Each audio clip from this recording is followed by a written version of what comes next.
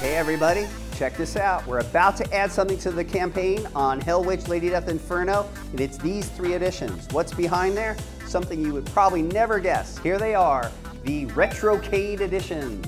These editions by David Harrigan are limited to 33 copies apiece. They come as a set and they're being offered right now for $99. That's right, imagine Hell Witch, Lady Death, and La Muerta as a side-scrolling Retrocade 8-bit game. That's what this comic is saying. So, indulge yourself. You deserve it. Only limited to 33 copies, $99 a piece, guaranteed to sell out. Thanks so much, everybody.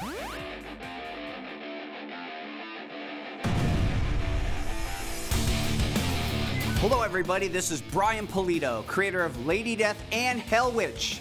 And we are back to unleash the most unexpected chapter of all an all new 64 page original graphic novel entitled Hell Witch Lady Death Hellgasm.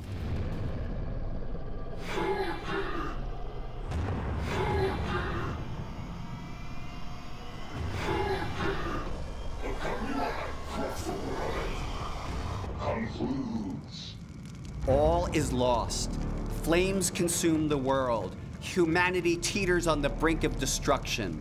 And Earth's champions lie broken under the heels of the terrifying Dukes of Hell.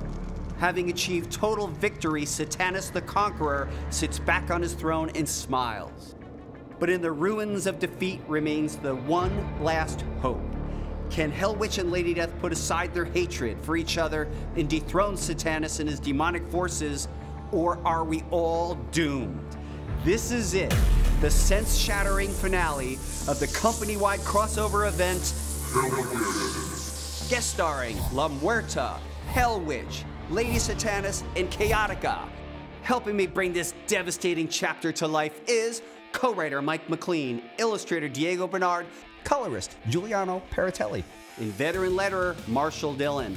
And look, here's the thing this project is done. We just got a print. I need your help to tell this tale. Please pledge now and tell everyone you know. Thank you so much for everything.